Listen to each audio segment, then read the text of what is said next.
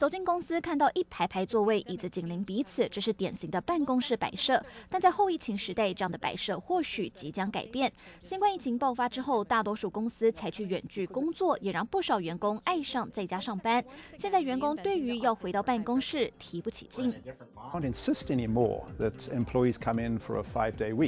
为了让员工提高意愿进公司上班，许多企业开始重新设计办公室，希望让员工自己想要进公司，而不是被迫进公司。许多员工都表示，在家上班可以节省通勤时间，也可以穿着随性舒服工作，工作效率也会提高很多。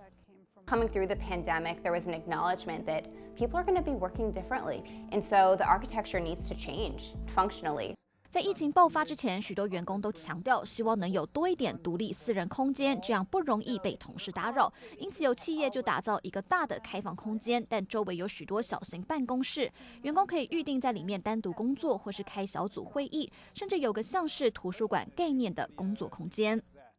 So this is an example of what we're calling our library. The concept was really to ensure that our employees had choices, particularly the engineers who needed some additional spaces to do the heads down. 甚至有的企业决定完全不要传统办公室，而是打造很多不同样式的办公空间，可以坐沙发或是高脚椅，全看当天心情而定。就连会议室也有所改变，不再是枯燥乏味的白墙，而是不同样貌、不同摆设，让员工在试训的时候背景可以多一些变化。Having employees come back to the office, we're competing with the comforts of home, so we have to make the space really inviting and comfortable and and you know fun to visit. 来到后疫情时代，许多企业都认为未来的工作趋势将会是混合办公室，员工可以选择要进公司或是在家远端工作，员工多了自由选择的机会，并且能提高工作效率，创造双赢局面。欢迎新闻孙英玲综合报道，